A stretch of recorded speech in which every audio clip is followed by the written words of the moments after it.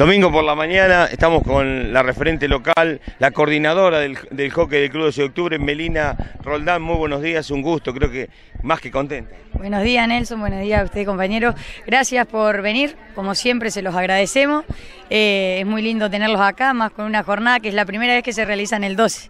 Sí, la primera vez que se realiza y creo que vemos con mucho público un domingo tan temprano por la mañana. Hoy sí, hoy se nos hizo re largo, arrancamos muy temprano, a las 8 y 10, 8 y media ya estaban jugando los primeros partidos y bueno, tenemos un cronograma bastante largo. Si bien son partidos de, un solo tiempo, de no más de algunos de 10, 15, 20, 25 minutos, eh, tenemos pautado que terminen alrededor de las 2 de la tarde.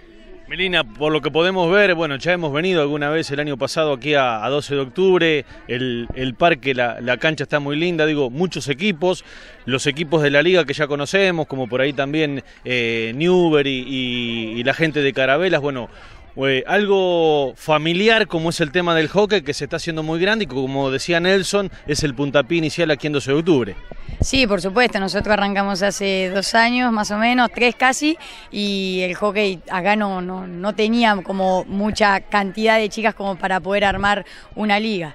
Eh, el año pasado me propuse con la coordinadora de hockey de social organizarlo para este año y poder tener una vez al mes y, una continuidad durante todo el año.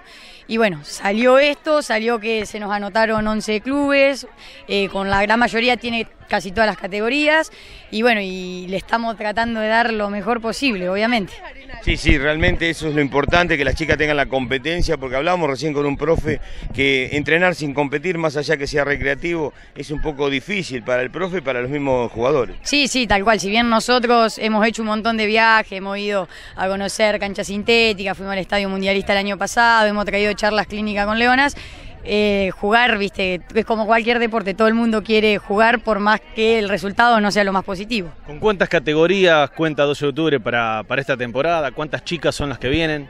Y este año tenemos una buena cantidad, si bien formamos eh, eh, varias categorías como sub-16, que a veces nos cuesta y tenemos que elevar chicas de categoría, pero tenemos desde recreativas hasta sub-16. Nos estaría faltando el sub-18, que bueno, es muy complicado hoy en día tenerlo. Bueno, pero con el correr de, los años seguramente lo van a ir armando, se va haciendo esa rueda que, como las divisiones menores del fútbol. Sí, sí, por supuesto, es una cadena esto.